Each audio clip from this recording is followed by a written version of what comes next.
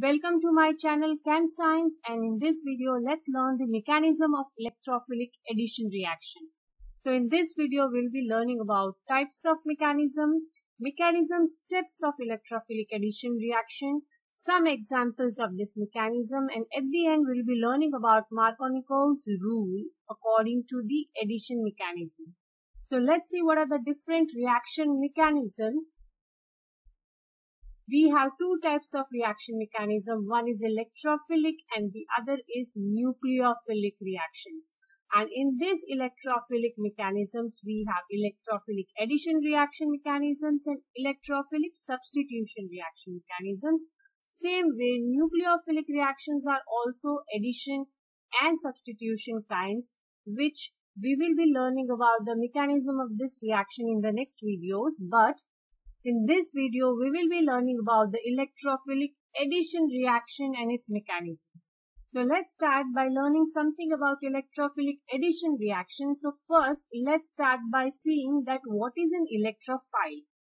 Electrophile is an acceptor of a pair of electrons. So in one sense, you can say that electrophile should be positively charged so that it can accept the pair of electrons from the other compound and this is only possible when the molecules have C double bond C which can undergo electrophilic addition reaction because C double bond C has two double bonds.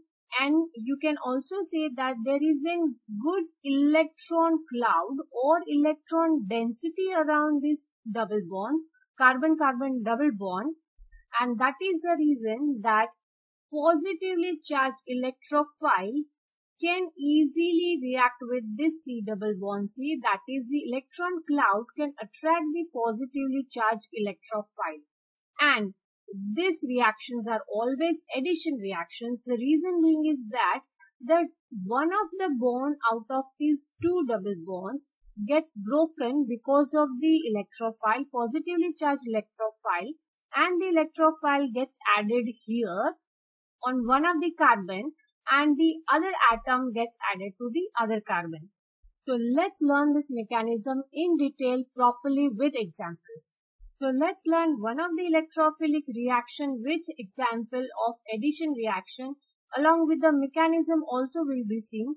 Let's start with the simplest example of ethene reaction with the addition of bromine to the ethene. Now we should note here that in this ethene molecule, only the C double bond C is going to react and that is the reason that I've drawn the double bonds in the different color than the other bonds of CH which are not going to participate in the reaction.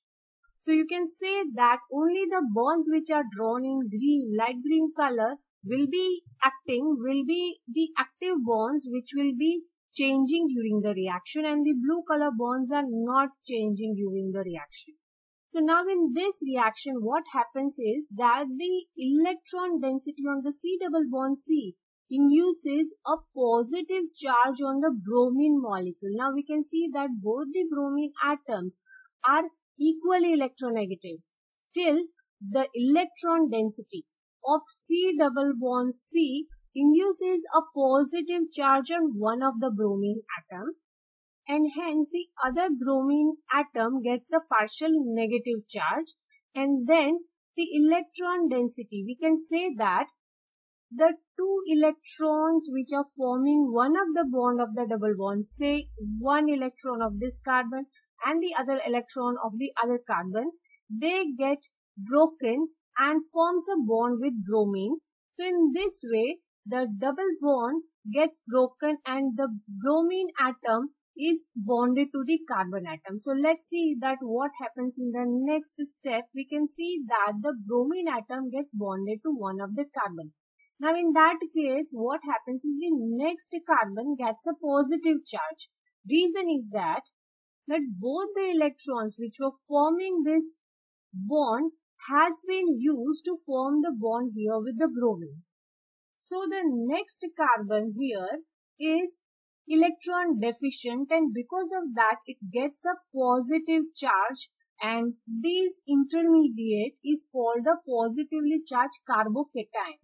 Now as the carbon forms a bond with one of the bromine, then the bond which is here between the two bromine atoms moves to the another bromine atom. Because of that, the next bromine has a full negative charge with a lone pair of electron which can then bond with the other positively charged carbon atom and so the whole molecule gets added with two bromine atoms and we can see that the double bond which was earlier has now changed to single bond. So we can say that the unsaturated molecule has now changed to the saturated molecule by the addition of two bromine atoms to the carbon-carbon double bond to the carbon atoms which had carried the double bond earlier. And we can also note down that the other atoms were totally inert. That shows that these atoms did not participate in the reaction. Only the C double bond C participated in this reaction and the mechanism is only around this C double bond C. So you can once again look at all the steps of this mechanism and then you can try with the other reactions of the alkenes also. We will also be seeing the other re uh, reactions. So let's have a look at another type of reaction of alkene with hydrogen bromide or you can say any hydrogen halide atom. We can take an example of hydrogen chloride also here but here we have taken HBr as an example. The reaction mechanism is going to remain the same whether the incoming molecule is bromine molecule or a hydrogen bromide molecule. But here in this case we already know that the hydrogen has a partial positive charge and bromine has a partial negative charge as bromine is electronegative. So now again as earlier the C double bond C is going to get attracted to the positively charged hydrogen atom and that's the reason that the double bond gets broken and it bonds. The carbon-carbon double bond changes into single bond and one of the carbon gets bonded to hydrogen. Next carbon gets the positive charge because of which we also call it as a carbocation. Now this carbocation attracts the negatively charged bromine atom to it. So the second carbon atom bonds with the bromine atom of the hydrogen bromide. Now here we should note one thing that the curly arrows which we are drawing here are always from negative to positive charge. So here you can see that the electron density is negatively charged. So we draw an arrow from the electron negative part to the partial positive hydrogen atom. And in the second step, we are drawing the arrow from the negatively charged bromine atom to the positively charged carbon atom. So you should note down one thing that the arrow is always pointing from negative to positively charged species. So here now carbon-carbon double bond is being added with hydrogen bromide.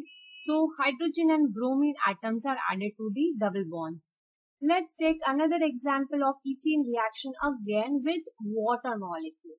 Now in water molecule, we know that hydrogen is positively charged and oxygen is partial negative charge. So as usual as we have seen in the earlier reactions, the electron density of C double bond C will get attracted to the positively charged hydrogen atom and that's the reason that it's going to form the bond first with hydrogen atom and next the positively charged carbon atom is going to attract the negatively charged hydroxide ion that is OH minus ions which further gets bonded to the next carbon.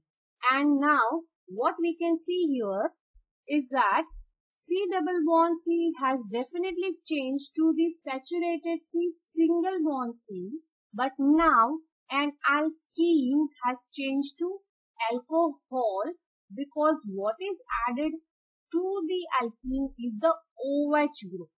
So now an alkene has changed to alcohol group and so this is one of the important reaction and we have learned this reaction along with the mechanism which is called electrophilic addition mechanism. The next step which we really need to know, which is very important, is that suppose if the alkene which we have used here is not as simple as ethene because ethene here is symmetric. We can see that on both sides of the C double bond C the alkene is symmetric and so whichever carbon gets the hydrogen or the hydroxide ion is not going to make difference in the molecule. But what if the alkene is unsymmetric? If both side of the double bond is not symmetric, then where does the positively charged hydrogen ion goes and where should the negatively charged hydroxide ion go?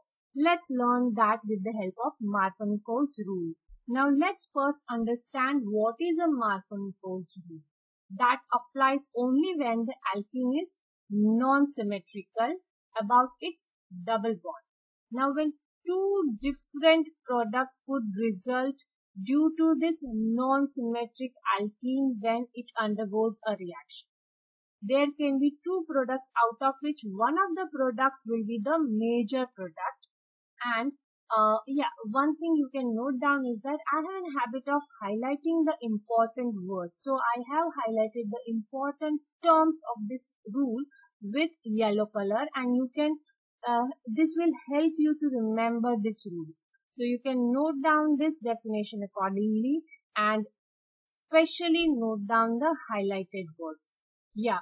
So the major product in this reaction according to the Markovnikov's rule should be that the hydrogen atom gets added to, suppose if we have an hydrogen halide, then out of hydrogen halide, the hydrogen atom is added to the doubly bonded carbon atom in an alkene in which the carbon atom is bearing the greater number of hydrogen atoms. Now let's understand this with an example, but let's see the Markovnikov rule, rule once again. It says that when an alkene is unsymmetrical about the double bond and two different products could result because of this, the major product is the addition of hydrogen atom of the hydrogen halide to the doubly bonded carbon atom in the alkene, the carbon which is bearing the greater number of hydrogen atoms. Let's understand this with the help of an example. Now here is propene which is unsymmetrical around its C double bond C. Now we can see that the carbon atom carries a methyl group on one side, but the other carbon atom carries only the hydrogen atom. So this molecule, this alkene is not symmetrical around its C double bond C. So now let's see that how does the Markovnikov's rule applies to find out the major product. Now suppose such an unsymmetrical alkene reacts with hydrogen bromide. Then as we know that hydrogen carries partial positive charge and bromine carries partial negative charge. Now let's see that how does the Markovnikov's rule apply here. There are two chances and two products formed here is that the hydrogen can go to the second carbon atom and it can form a product say suppose this is CH3 C this is the C double bond C here now that gets broken and hydrogen gets bonded here and bromine gets bonded here with the remaining atoms as the hydrogen. The second chance is that the CH3 is as such. The C double bond C now has a bromine atom here on the second carbon and the first carbon gets the hydrogen atom. So there are two chances of the products and both the products will be formed during the reaction. But we need to find out that out of these two products, which product is going to be the major one and that is according to this rule. Now as this rule says that the hydrogen atom goes to the doubly bonded carbon carrying the greater number of hydrogen atoms. Now this is the carbon carrying the greater number of hydrogen atom because it carries two hydrogen while the other car carbon carries only one hydrogen. So according to this rule, this hydrogen should go to the carbon carrying the greater number of hydrogen atoms.